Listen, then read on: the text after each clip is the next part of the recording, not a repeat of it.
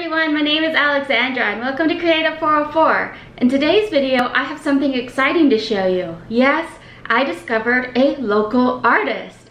I'm really excited. She is a Mexican artist here in uh, Houston, Texas.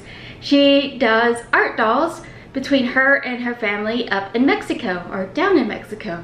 And uh, she is really talented. I think it is very, very cool. I will leave her, she only sells on Facebook, so she's on a Facebook marketplace. I will leave her page down in the description. It is in Spanish, but don't don't be worried. She does speak English. A lot of her stuff is in Spanish, but she she's okay. don't be scared. I love her dolls. They are worth worth it. Her shipping costs are like astronomically low. I was just like, oh, maybe it's because she was really close.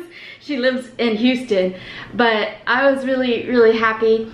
She sells these dolls at just $15 a piece, which is a really good find for a kind for a like an art doll. So I was really happy. I'm really excited. So let's show you the dolls and let's open them because I still have them in the package.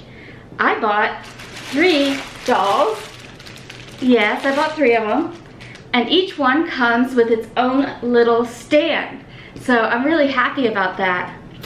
We will show you the first one, which happens to be Pennywise. I have always wanted to own a Pennywise doll. Oh, she has little booties on. I didn't realize she had boots.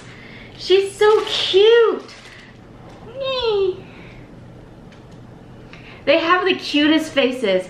They kind of have the dollar store kind of bodies, which I don't particularly like, but their faces are vinyl. They're not, um, they're not, uh, what is it called? They're not, they're, they're not porcelain. So if I want to change out her body, I certainly can. They are not articulated, which is also kind of not the best, but look how cute that face is. Oh my God, I'm gonna show it to you again. She has the cutest face. Oh my god, I am so happy with her. Let's see if her stand works with these shoes on. Yes, they do. Awesome. So that is my first doll. Let's put her off to the side here. I have a Joker doll as my second. I actually almost left without buying this doll, but I just kept thinking about her and I had drove to go visit her and drive, well I drove about like 30 to 40 minutes to visit her because Houston's a huge city. So I went and went to go see her to pick up two dolls and she brought some extras just to show me and she sold me. I was like, I couldn't afford another doll, but I brought up my credit card and I was just like, ah, glory. This is too cute. It has green yarn for her hair and it is super cute. Look at that face. How can you not say no to that face? She's so cute. Look at her little outfit. Mm, without the little, little, uh, little tie. She's so adorable. Yeah, some of her makeup is kind of, uh, a little, what is it called, rubbed off a little bit, but it kind of goes with the whole Joker look where the lipstick is not fully on there well.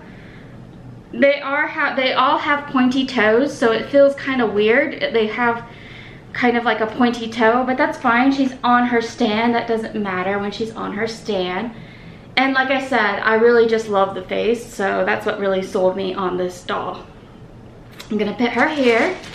This is actually the doll that I found on the Amazon Marketplace, and the reason I even was introduced to this girl, this is Coraline, now Coraline's hair is a little bit messed up after pulling her out of that bag. But Coraline is adorable. Look at that button eyes. Eee. She has like the softest hair too and it has tinsel in it. It is really cute. Oh my god, I love her. I saw her and I had to have the doll. So it was like I it was like an impulse buy. I, I bought it real quickly and uh, I just I didn't regret it instantly I loved her. She has the cutest face. Her plastic really does smell like plastic compared to the other dolls because she's wearing the raincoat stuff, but look how cute. She fits in her little stand nicely. Oh my god, she is adorable. I love the blue hair. I love the yellow raincoat. It is just too cute. So this is a Mexican local artist who sells Mexican dolls straight from Mexico. She also customizes them herself. She is a wonderful person and I loved talking with her. And if you'd like one of these dolls, go look in the description. They're really cool. I believe in supporting all artists, especially local artists, especially small artists. So please show some support if you can. If not, that is fine. I enjoyed just sharing with you what I found. I hope you like this video. It's a short one, but I just got really happy and had to share it with you guys. So thank you so much for watching. If you like this video, don't forget to give it a like. And if you have any comments, want have any questions, put them in the comments down below. I'll answer all your questions. Or if you just want to say how nice these dolls are, you can be nice to insist. Just be like, yeah, pretty dolly.